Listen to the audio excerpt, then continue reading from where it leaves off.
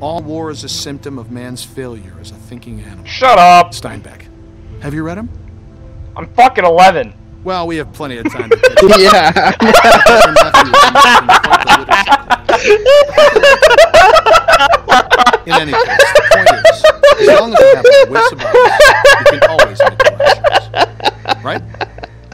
Sure, because I was definitely paying attention to you.